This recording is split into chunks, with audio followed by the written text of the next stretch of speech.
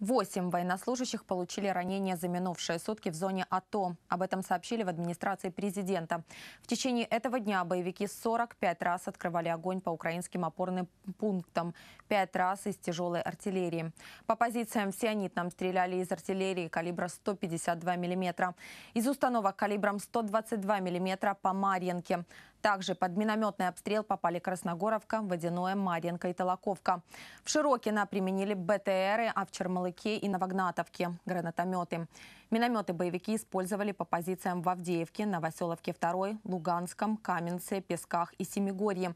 По укреплениям в Песках стреляли из артиллерийских установок калибром 122 мм.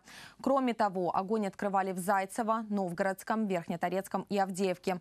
По Новоалександровке и Попасной стреляли из тяжелой артиллерии.